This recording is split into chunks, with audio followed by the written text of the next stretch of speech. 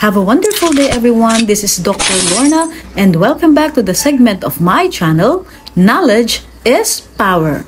It's summertime, and the heat index is higher than usual. So, it's very important for us to know what are the most common health conditions that this can bring to us. With that, let's talk about heat rash, heat exhaustion, heat cramps, and heat stroke. Let's start with heat rash, also known as the prickly heat or miliaria rubra. Symptoms of itchiness, signs of red cluster of pimple or small blisters usually appear at the neck, upper chest, groin, under the breast, and in elbow creases. Now, what about the first aid? So less exposure to the heat or less humid environment. Keep the rash area dry. Apply powder to increase comfort and don't use ointment or cream. And now, let's proceed to heat exhaustion. It is the body's response to an excessive loss of water and salt, usually through excessive sweating. Heat exhaustion is most likely to affect the elderly people with high blood pressure and those working in a hot environment. Now let's proceed to heat cramps. Heat cramps actually is the first stage of heat illnesses, seconded by heat exhaustion before heat stroke.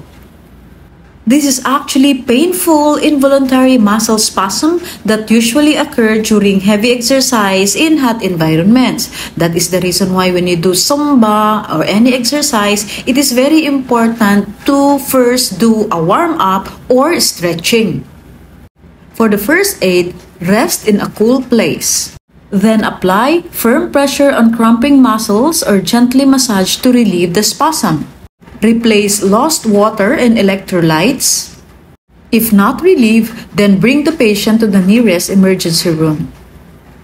Finally, we must have to know the differences between heat exhaustion and heat stroke. When we say heat exhaustion, there is a feeling of dizziness. In heat stroke, confusion. In heat exhaustion, there's an excessive sweating, while in heat stroke, no sweating.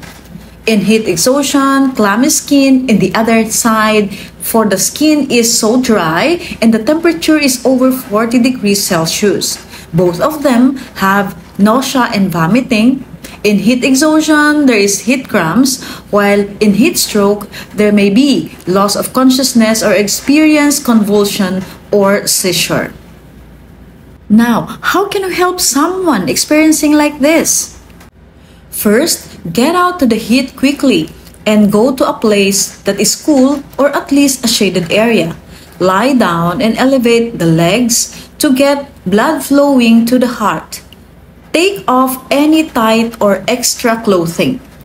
Apply cool towel to the skin or take a cool bath. Then replace the lost fluid and electrolytes. Again, if sign and symptoms persist, proceed to the nearest emergency room.